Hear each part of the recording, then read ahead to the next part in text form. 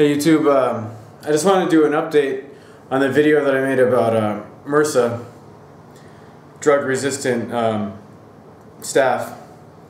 Basically, uh, I think I figured out the reason that, I, that I've been getting it, and I could help maybe some other people. Well, I, what I realized is that every time that I've gotten it, I've gotten it about three times since I've been in Thailand, um, is when I've been living in air conditioned places funny enough, when I was living in really, really dirty places, like I was even living in a place where it was full of rats and cockroaches, and I was pretty much sleeping on a mattress on the floor, and there were cats, and it was just really, really dirty. I, I didn't get sick at all. I lived in a, you know a few places like that, and they didn't have air conditioning. I just had a fan, and I had no problems whatsoever.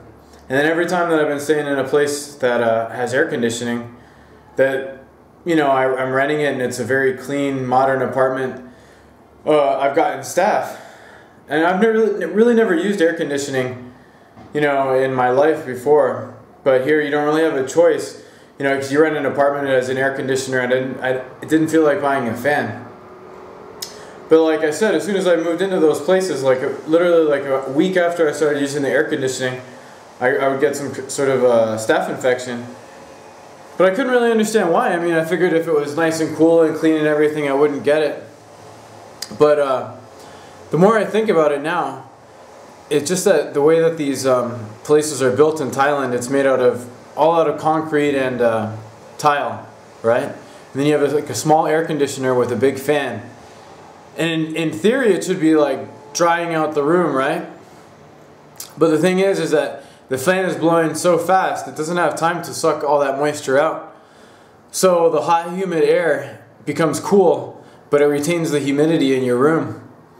And then that, and also I'm taking showers in here, and I have the um, window closed to, to save the air conditioning, so I'm not wasting a lot of money. And then I'm cooking in here and making teas, and that's all adding to the humidity in my room. And it's ended up like it's condensing everywhere. You know, I can almost, you can feel it when you walk around, like you can feel like a sort of a mist on the floor. I think that's what it is, you know, that the uh, air conditioning, one, it's like actually humidifying the room, and then also just the air conditioning in general is just bad for your skin, it's just unnatural. Because I noticed, like, at the other apartment I had, I ended up buying a fan, and as soon as I did, then the staph went away. It's the only, I mean, it makes sense to me, so I'm to try and do that is buy another fan, because I, I got a, I got a, like a, a staph infection on my chest. But the strange thing is, this is another thing that I think you can try as like a cure because it seems to have worked for me. Yesterday, I wish I would have taken a video, but I have like it was here. You know, it became like a uh, a pimple. Looked like a staph pimple. It had a uh, there was pus. It was like literally full of pus. I took um, a thousand. Uh, micrograms of um, vitamin C three times, and literally like the pus, it turned black. Like the inside of it turned like blackish reddish. Like it, it just filled up with blood. It seemed like, and then today, one day later, it's gone. It was like a boil that basically just disappeared within one day. I've never seen that before. Whenever I've had like staph before it it just continued and continued for like a couple weeks. I had to go on antibiotics in order to get rid of it. So I don't know. Those those are two uh, two things that I can think of, you know, that can help you out.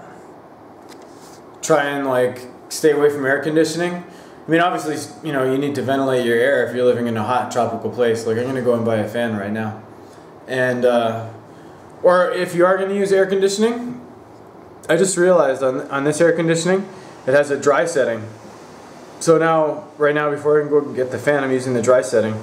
That should help to uh, dehumidify your um, room.